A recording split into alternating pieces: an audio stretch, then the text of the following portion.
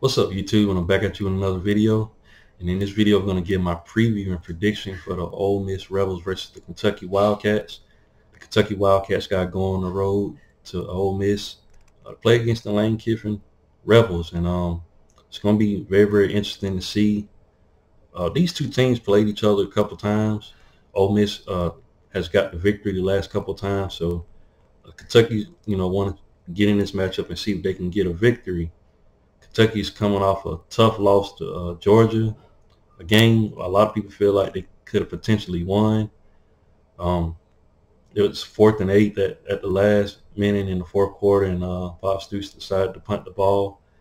Uh, some people probably would have went for it and stuff like that, but uh, they still would have had to get those eight yards. And um, Georgia was just playing really, really good defensively, so I can see it both ways. But uh, Kentucky, can they build off of that and um, potentially give Ole Miss a game. It's going to be very, very interesting. I'll just go go ahead and read off the stats. Um, I'm going to start with Kentucky.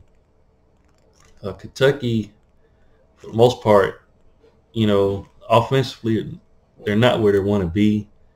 Uh, they got two losses on the season so far. They lost to uh, South Carolina, 31 to six, I believe, and it, like I said, they lost to Georgia, 13 to 12. So, uh, very, very interesting matchup you know, can Brock Vandagriff get the offense going?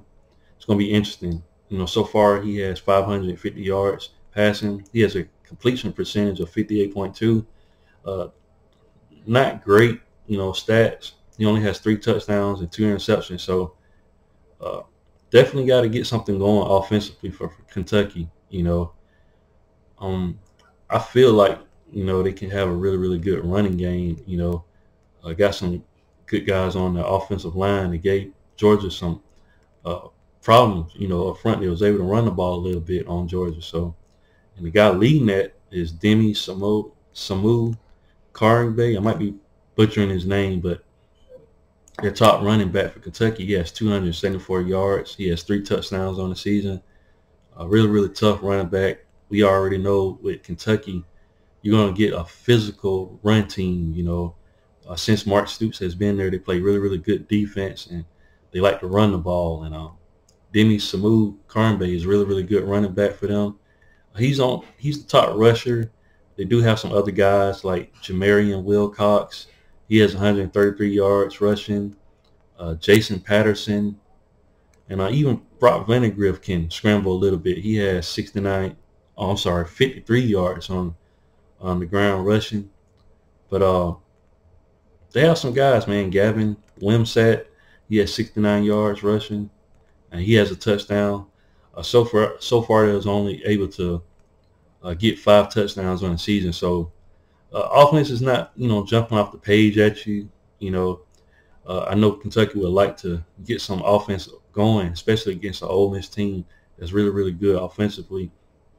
A receiver, they have Dane Key. He has 264 yards receiving.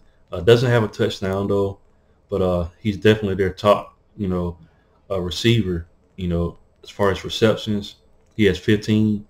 Uh, Baron Barion Brown, he has 12 receptions for 90 yards. He has two touchdowns. And they have uh, at tight end, they have Jordan Dingle. He has a touchdown. Like I said, not too much, you know, offense going uh, for Kentucky. They would like to get that established, and hopefully they can figure something out, you know, uh, before Saturday, you know, and maybe uh, Brock Vandagriff can get something going. Uh, was very, very, you know, highly recruited at high school. Uh, just hasn't hit his potential yet, so it's going to be very, very interesting to see. Defensively, Kentucky is really, really good. Um, they gave Georgia fits, held Georgia to 13 points. You got to give credit to that defense. Uh, it was the main reason why Kentucky was in this matchup uh, last uh, Saturday. D'Eryk Jackson at linebacker, he has 19 total tackles. Uh, they also have a transfer, Jamon Dumas Johnson from Georgia. Uh, he has interception, you know, on the season.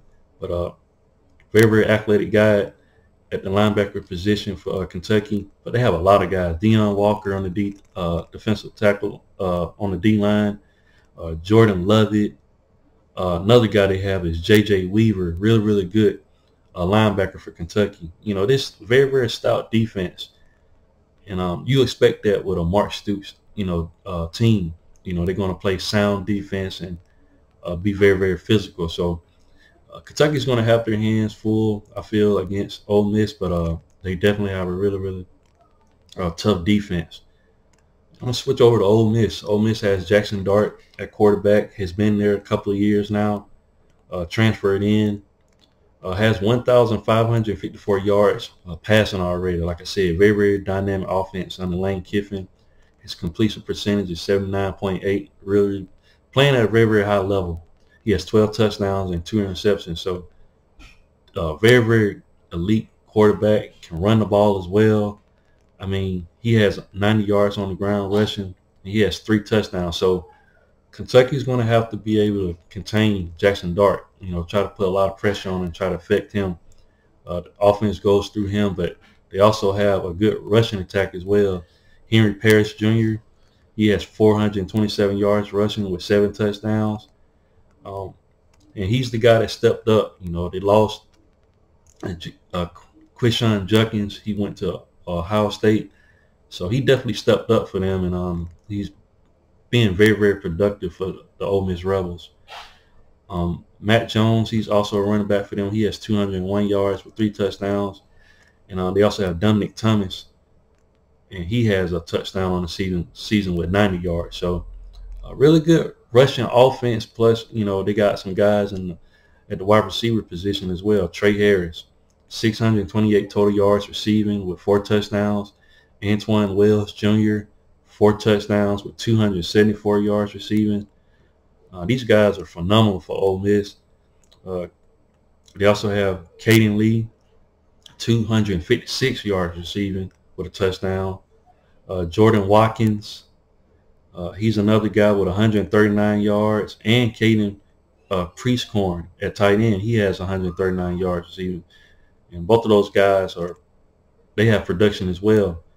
Uh, Watkins has two touchdowns and Prieskorn has one. So very very elite offense, man. Uh, Kentucky is going to have to uh, bottle up this offense some type of way. You know, try to slow down the Ole Miss Rebels. Going to be very very interesting. Defensively, Ole Miss was able to go in the transfer portal and pull out a guy and Walter Nolen, really really good uh, defensive tackle uh, for the Ole Miss Rebels. Uh, he transferred in from Texas A&M. Uh, very, very elite defensive tackle. A lot of the schools were trying to get him, but uh, he committed to Ole Miss. Um, definitely a key in their defense this year and made an improvement on the Ole Miss Rebels defense.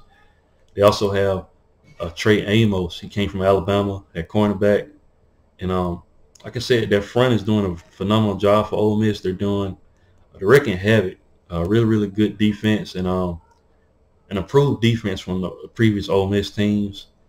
And um, Pete Golding just has a, plethora of guys on that defense that's uh, getting the job done, basically. Uh, Brandon Turnage, another guy. Uh, he was actually at Alabama, then went to, uh, I think he went to Tennessee, and now he's at Ole Miss. Uh, he has interception. Chris Paul Jr., he's their leading tackler with 29. So a lot of guys, you know, flying around on that on that Ole Miss defense. So greatly improved team over the last couple of seasons defensively. I was looking at the line for the game. Currently, I see Ole Miss is a 17 point, 17 and a half point favorite. Uh, the over under is 53 points in this matchup. The game is going to be played in uh, Vaught-Hemingway Stadium. Like I said, uh, Kentucky's going on the road if I had to give my prediction for this matchup, I'm picking Ole Miss. I just think Ole Miss just has too many weapons right now for Kentucky. Uh, you can tell Kentucky still trying to figure some things out. You know, I think if they had relied more heavily on the running game against uh, Georgia, I think you know they could have possibly won the matchup. You know, but uh, you got to give credit to Georgia defense, man. Uh, nobody has scored on them, so considering that, I'm not saying Ole Miss has a, just as good as a defense as Georgia, but I just don't see the Kentucky Wildcats being able to keep up offensively to be able to keep up in this matchup. I just see Jackson uh, Dart uh, just doing the things that he needs to do um, offensively.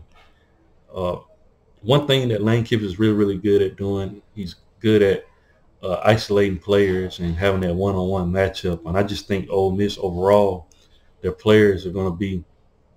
He's going to scheme it up really, really well for them to beat Kentucky. Like I said, they beaten Kentucky the last couple times they played. You know, it's not helping that Kentucky doesn't have anything offensively going on. You know, could they score on Ole Miss? There's a potential that they could. Like I said, they just couldn't do it on against uh, Georgia. I think Georgia has one of the best defenses in the country. So uh, they wasn't able to do anything, just uh, kick field goals in their matchup. But Kim Vandagriff and uh, Kentucky Wildcats scheme something up, maybe.